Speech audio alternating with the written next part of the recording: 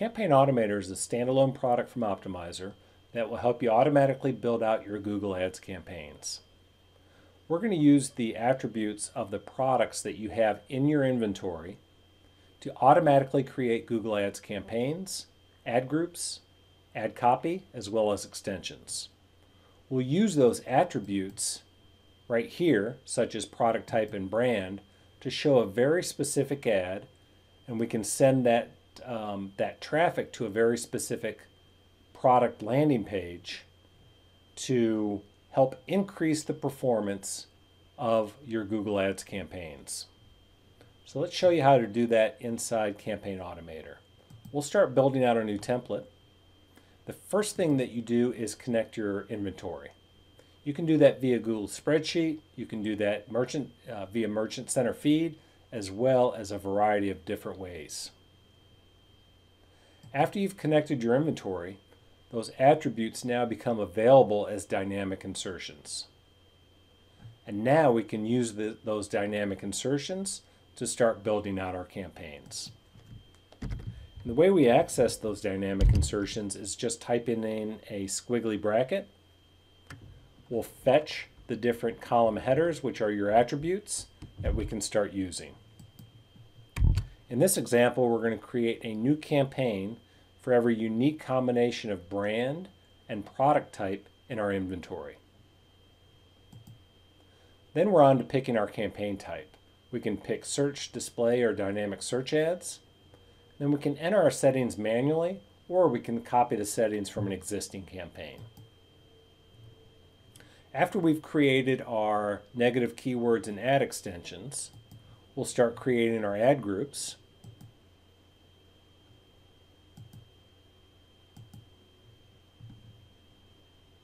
The first thing that we're going to do is we're going to add our keywords.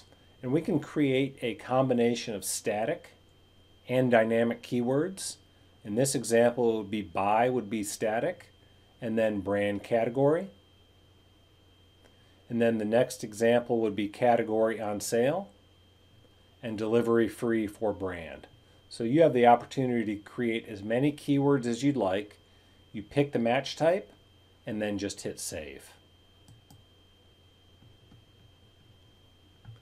So if I edit an existing ad inside this ad group, you'll see some of the possibilities to create this really relevant ad copy. The first example is to create a, a, unique URL that we can send them to a specific product, product page.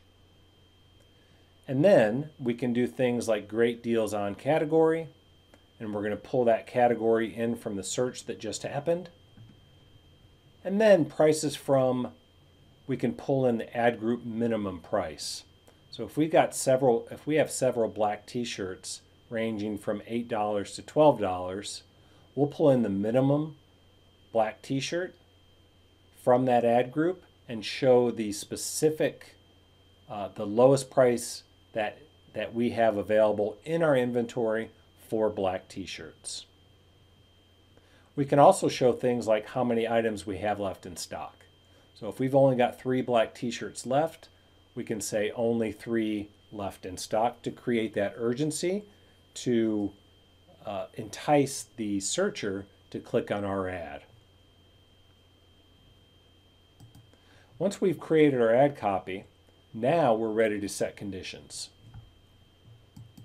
And the conditions help us control which ads are being shown.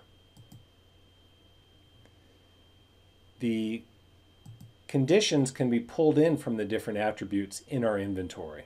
So availability is equal to in stock. That, that ensures us that we're only showing products that are in stock. The great thing about conditions is you can add conditions on top of each other or stack them on top of each other. So if you only wanted to show products that are in stock and maybe for sizes that are XL, extra large, you can stack these conditions on top of each other and make them very specific based on the products that you want to advertise for. After we've set our conditions, we're going to save and preview. And we're going to preview the work that we've just done. We've created 30 campaigns, 60 ad extensions, 30 ad groups. 120 keywords, negative keywords, and ad copy. We'll see, we'll see kind of a preview, and then we can look into the specific campaigns that we've created. You will see warnings, so you can fix any anything that is a potential problem before you apply them to Google Ads.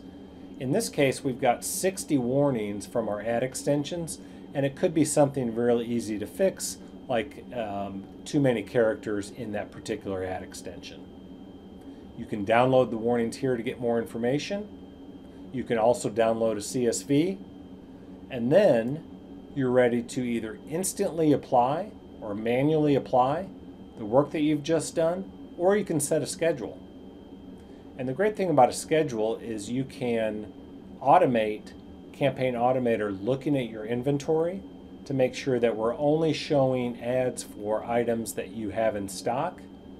If we've sold out of an item, we're not going to show the ad. And then also, if we have a new item that comes into the inventory, we can start showing ads for that new item.